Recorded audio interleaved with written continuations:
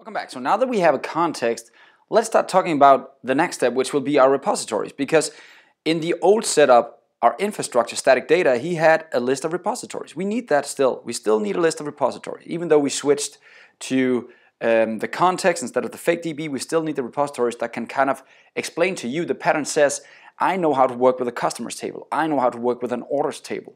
It can also, in the repository, we can also start now talking between different tables and say, I want to get information from the customer, but I also want information from the order tables using this context. So what we're going to do is we're going to this lesson create um, the folder for the repositories, first of all. So I'll make a new directory right here, and I'll call it repositories. Repo not a capitalized E there, lowercase e, there we go. So that's kind of the same, exact same structure, right? And then I'm going to add these two guys up there. So I'll just first add a class right here called customer repository.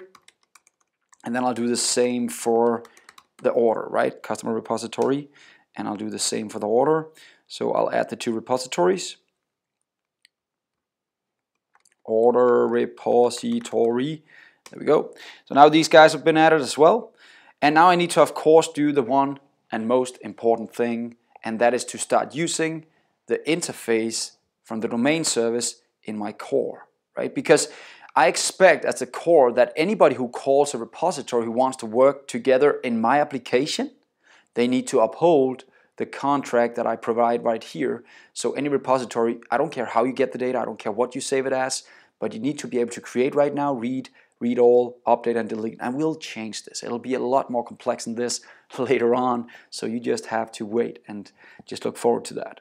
But right now, let's try and say that a customer repository needs to implement the I customer repository.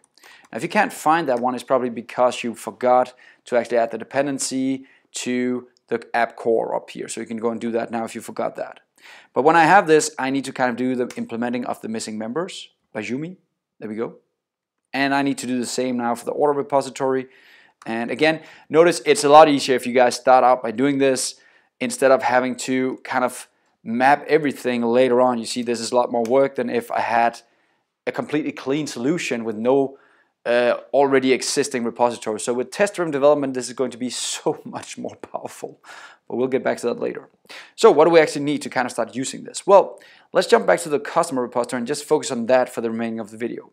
Because to start working with all of this, there's one very important thing that we need, and that is access to the fake database in the old solution is going to be access to the context in the new solution. Let me show you what I mean. If I jump into the old customer repository, every time where I needed to get some information from the database, I needed to kind of add a customer here, right?